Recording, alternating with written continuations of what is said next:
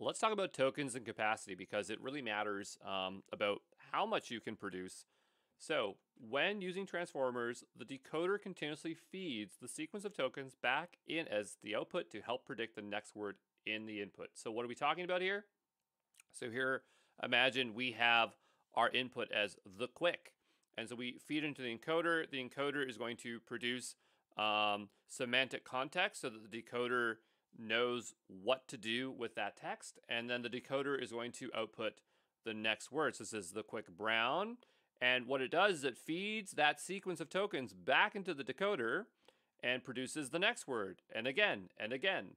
And so the question is, what is the capacity required to run this? And so there are two components that we care about memory and compute.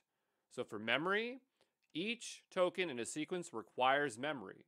So as the token count increases, the memory increases.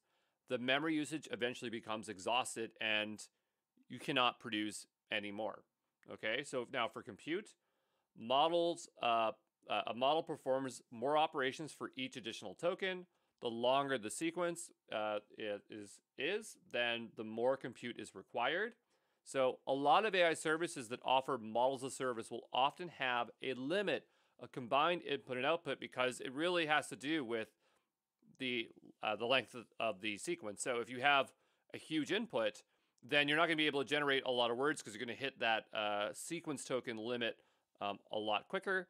So hopefully that makes it very clear about how memory and compute are uh, intertwined with tokens. Um, the way cost gets down is, you know, they have to figure out a way of um, reducing or making the model more efficient. So that's helping to reduce the memory compute.